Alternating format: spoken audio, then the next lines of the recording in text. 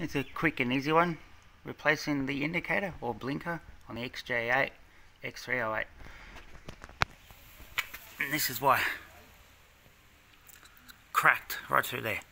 If you have a look at this side, and this side, much cleaner on the left. So all we have to do is just pry that out.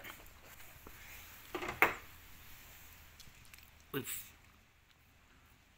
these tools.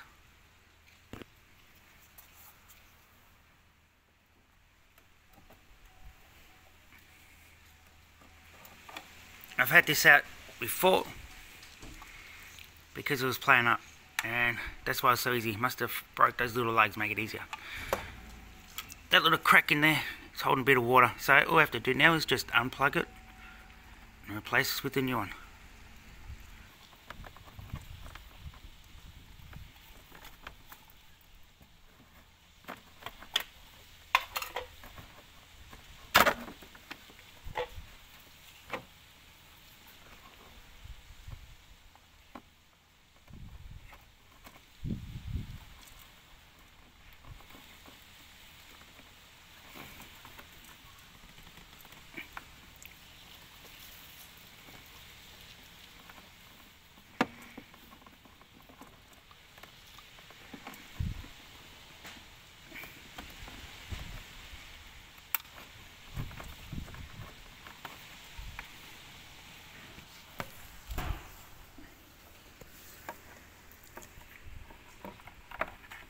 Eh, and I guess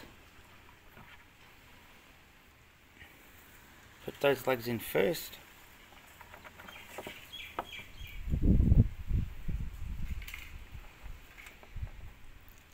and clip. Done.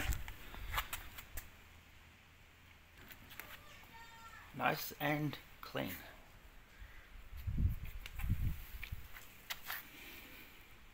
You can see bit moisture in there, so that's another reason why.